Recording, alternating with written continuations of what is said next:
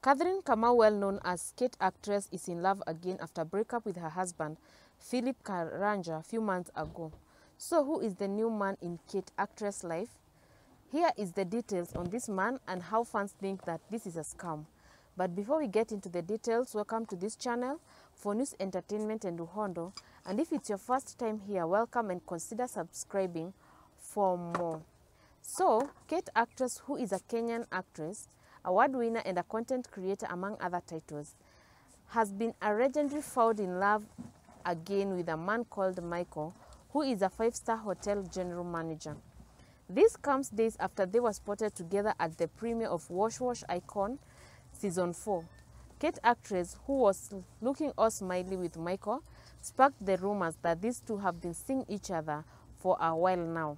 According to sources, these two were also spotted together at Soul Festival in November, and in June they were spotted together in vacation in Lamu for a business trip. But the fact is, these two have been spotted together regularly and they were been posting each other online. Netizen could not keep calm on the comment section as most of the fans thought that these two are just crowd chasing for another content while others thought that kikulacho kinguoni mwako since they think that this friendship or relationship has been going on for a while now and they think that women always have a backup. But we can all agree that every person deserves to be happy, happy in a relationship, happy in marriage and peace anywhere you are.